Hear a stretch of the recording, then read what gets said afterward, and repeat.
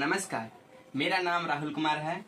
मैंने तार से बेस्ट क्राफ्ट बनाया है। जैसे कि आप देख सकते हैं, ये बच्चा है, और ये टीचर है, और ये ब्लैक बोर्ड है, और ये पेड़ के नीचे।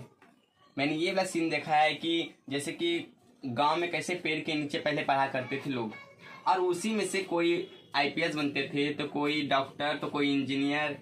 गाँव से ही खेल कूद के खूब मस्ती करके पढ़ाई लिखाई में मस्ती करके डॉक्टर बना करते थे। उसी को मैंने याद करके ये बनाया है। मैं जानता हूँ मेरे क्राफ्ट में बहुत सारी कमी होगी, लेकिन क्या करूँ? लॉकडाउन ना है। तो लॉकडाउन में मेरे पास सामान भी नहीं था।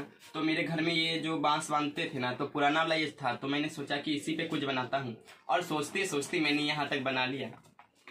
और थैंक यू कहना चाहूँगा कला बिंदु को, क्योंकि घर बैठे लॉकडाउन में मुझे बहुत बोरिंग लग रहा था। क्या करूँ, समझ नहीं आ रहा था। लेकिन बहुत अच्छा हुआ कि आप लोगों ने ये कला बिंदु कंपटीशन करवाया। मुझे बहुत अच्छा लगा। Thank you